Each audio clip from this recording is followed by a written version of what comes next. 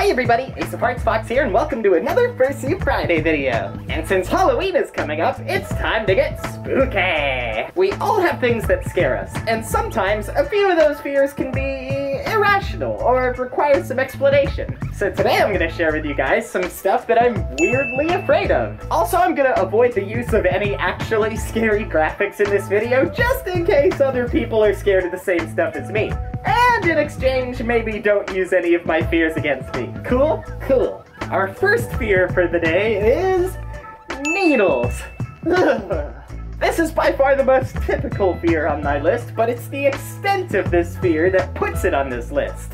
Like, my fear of needles is so bad that not only do I have to brief the doctor before I get a shot, but I also can't stand the sight of a needle or a syringe, even if it's on a movie, a video game, or on the TV.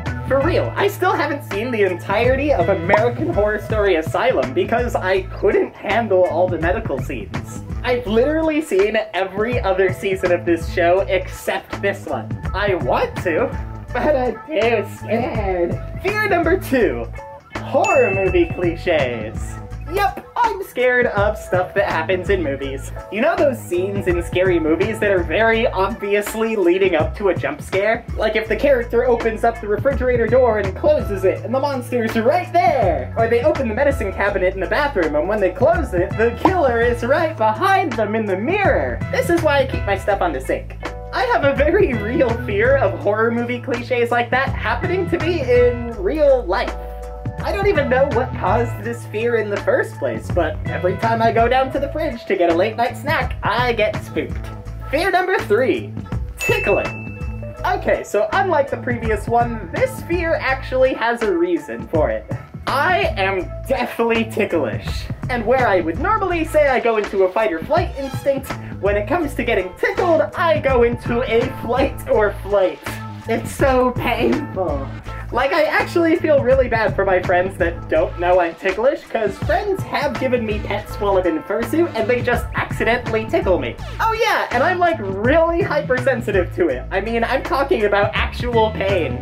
Like on some rare occasions, I'll just be on the floor laughing and convulsing, and I look like a crazy person. On the one hand, this fear is kind of funny. On the other hand, I don't like being in pain. The lesson here is to ask a fursuiter before you touch them because they might have death tickles. And now, our fourth and final fear for today is urban legends. Ooh. Like, internet creepypastas are scary and stuff, but there's something especially spooky about local legends that have been spread through word of mouth.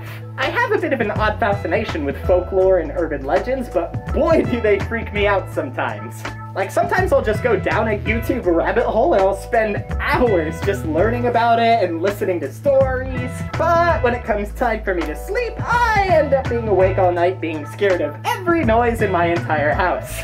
I think this is because urban legends always have a tendency to take place in one of two places. Either a remote town off the main road, or in a quiet, sleepy suburb. And guess who grew up in a quiet, sleepy suburb? This guy. So thanks a bunch for watching this week's Fursuit Friday video, everybody. I hope you enjoyed it. Do you also have some things that you're weirdly scared of? Go ahead and share it in the comments down below. It can be something silly, or something spooky, or anywhere in between. And if you guys really enjoyed this video, go ahead and hit like and subscribe down below for new videos every week.